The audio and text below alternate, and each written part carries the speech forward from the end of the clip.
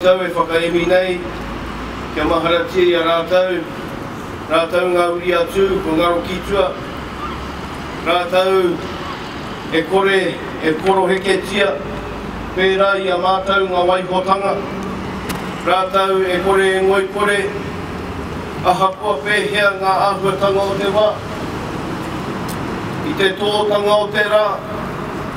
tae, tae noa atu ki te tāpiri mai o te ata, ka maharatia mātou i a rātou, e kore e warewaretia. Tēnā koutou.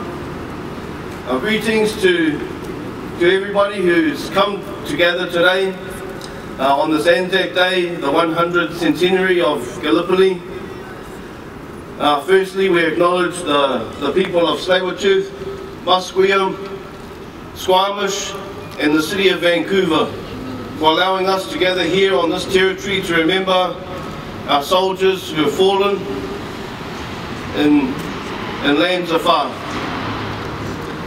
Those whose courage, sacrifice and selflessness we come to remember today. And in remembering them, we also bring forward the spirit, the spirit of the Anzac, the spirit of the Pacific tides that joined our people from New Zealand, Australia, Canada and throughout the Commonwealth. And so on, on this day we remember them.